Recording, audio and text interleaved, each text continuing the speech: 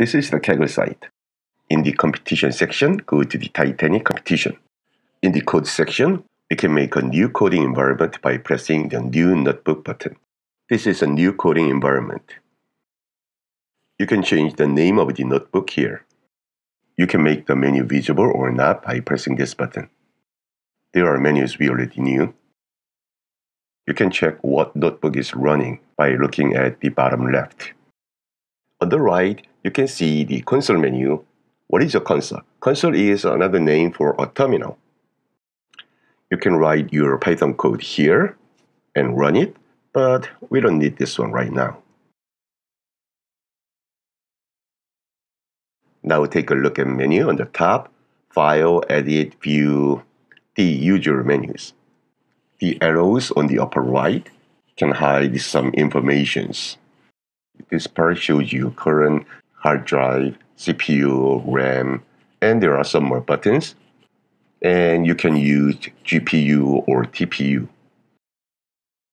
And there is a data part. Looking at the input, you can see that there are three files that we have seen before. There is a test.csv and there is a train.csv. I'll press the X button to get rid of them all. This time, I want to see the output, but there is nothing. You can also change the range to use in settings. The code help will show you an example when you ask how to do this. For example, if you ask me to how to read a CSV file, it tells you that it does this. Now let me run the first cell.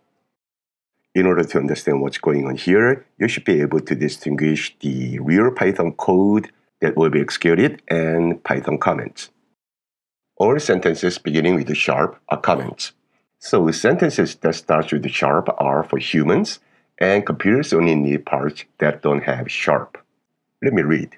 Import numpy as np, import pandas as pd. We already know what numpy is, and we imported pandas, but looking at the explanation next to it, it says that it is for CSV file input and output. Then there are some more, which are codes that show what files are in the input directory. Let me run this code. PD was pandas. Read CSV it means to read CSV file and write the name of the file to read. This will show the contents of train.csv. If you try test.csv this time, it will look like this. So what's the difference between test and train? Counting the number of columns, there are 11 in test and 12 in train. The number of columns in test is one less than the train dataset. This data shows whether they were survived or not based on information like genders and ages of the people on board the Titanic. Whether they were survived is not indicated on the test but on the train. This competition is to create a model that can predict the person's survival using columns of train dataset and then apply the model to test the dataset to predict whether or not the person was survived. Let's look at the contents of the sample submission file. Here, the name of the sample submission file is gender underscore submission. If you look at the number of rows, it is the same as the number of rows in the test file. Therefore, you can think about this submission file as an answer sheet. Simply write down the question numbers and answers before submitting it. If we predict well, it will be ranked high or it will be ranked low. First, we'll read the example answer sheet and save it in a variable called df. And save the df variable as a file. The reason for doing this is to save the file to the output directory. Gender submission is in the input directory and there is nothing in our output directory. So we have to save it in the output directory so that we can submit it. How can you save it? df.to underscore csv and the file name index is equal to false. The important point is that index is equal to false must be explicitly written so that the index is not saved together. If the index is saved together, the answer sheet cannot be submitted. After saving like that, it seems that the saved file should be in the output, but it is not there yet. To actually see the output, you have to hit the Save Version button. Once you press this button, my code is saved, and after my code is executed from the top to bottom, The result will be saved as the current version. Once saved, the version cannot be modified. If you make some additional changes, then you should save it as a new version.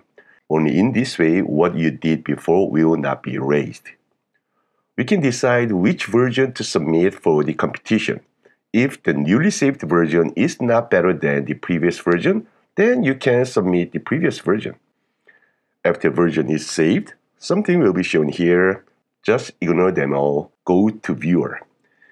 If you go all the way down, there are input and output sections. When you click the submit button here, this is going to be a real submission. Just do some obvious things and wait. It is only successful when the word complete is shown here. Otherwise, you have to do it again. Go back to compete, go to Titanic, and look at the leaderboard. On the leaderboard, you can check your rank. Not so impressive, but I can see many more below me. So I'm satisfied that now I can make the submission file and actually I can submit it.